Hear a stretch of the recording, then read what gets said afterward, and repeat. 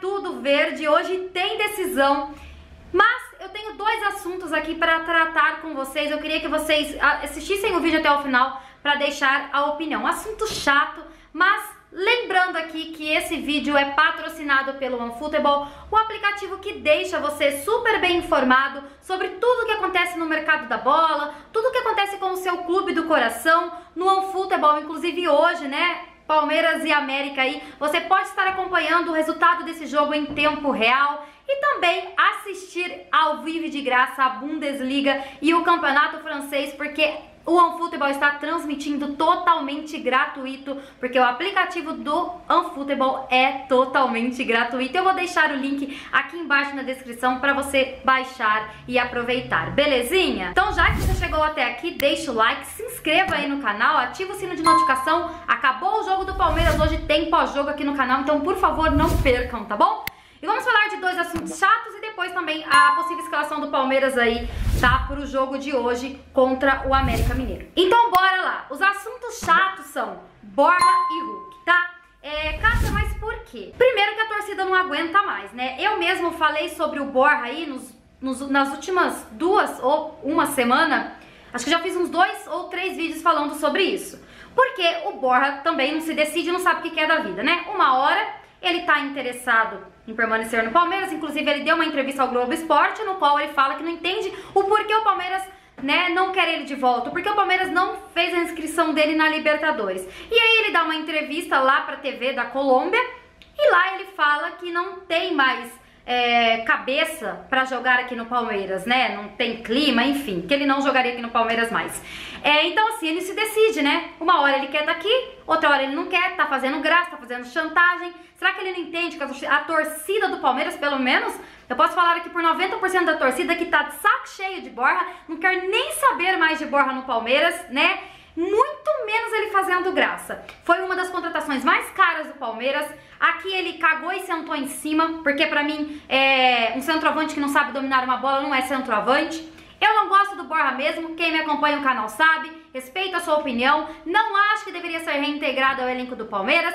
E aí saiu a última também, que o Borja poderia, é, porque o prefeito, que é irmão do presidente do Júnior Barranquilla, parece que postou uma foto, né, com o Borra e a camisa do, do Júnior Barranquilla dizendo que poderia ser um presente de Natal, de, dando a entender que o Júnior Barranquilla vai querer comprar o Borra definitivo. Só que foi um post no qual ele fez e apagou. Então a torcida tá aí se perguntando por quê, né? Eu sei que tá uma novela chata, assim como tá a novela do Hulk, eu vou atualizar vocês aqui sobre por que ninguém aguenta mais.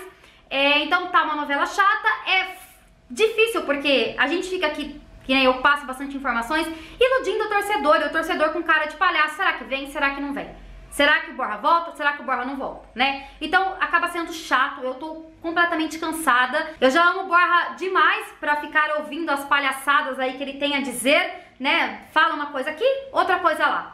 Então, torcedor, eu queria saber a opinião de vocês sobre o Borja. Depois de toda essa palhaçada aí, vocês queriam o Borja de novo com a camisa do Palmeiras ou não? Que o Palmeiras venda, empreste, enfim. Vamos pro assunto Hulk para depois falar a possível escalação do Palmeiras. É, Cássia, porque o que, que tem a ver o assunto Hulk de novo? Gente, o Hulk anda postando nas redes sociais foto, fotos né, dele com a, e a família dele e com uma.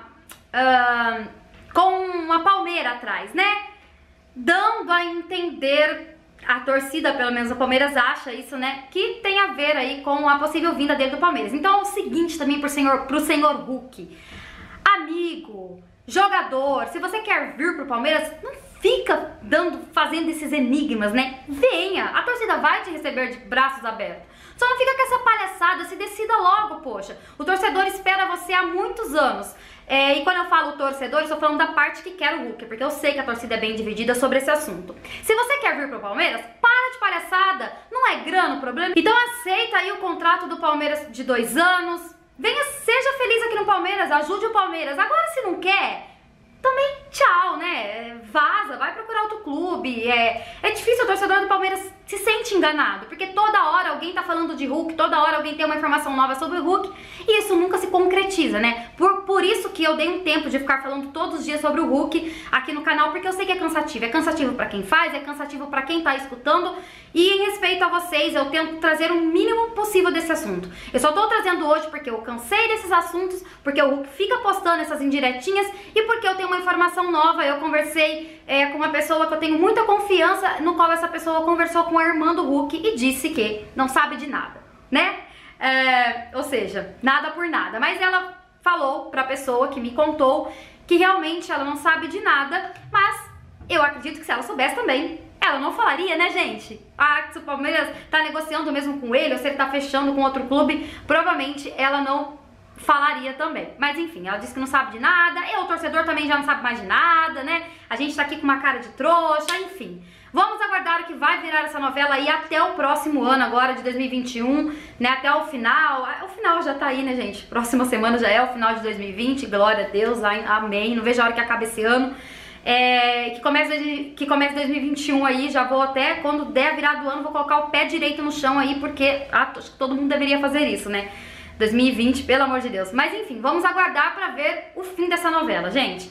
Olha, não sei não, viu? Não sei não que fim vai dar isso daí tava com um pensamento bem positivo, mas cada hora surge algo novo, né? A gente fica aí com a pulga atrás da orelha.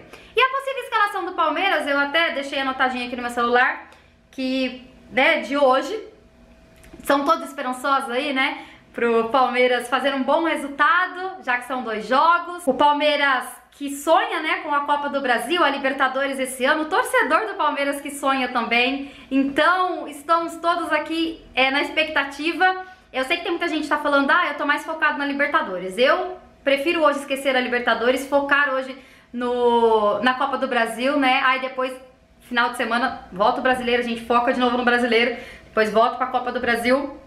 Porque uma Copa do Brasil hoje pro Palmeiras seria algo maravilhoso depois da Libertadores, né? Pra gente já começar aí muito bem o finalzinho, não, finalzinho não, o comecinho de 2021, né? As finais vão ser a partir do, do começo do, do próximo ano.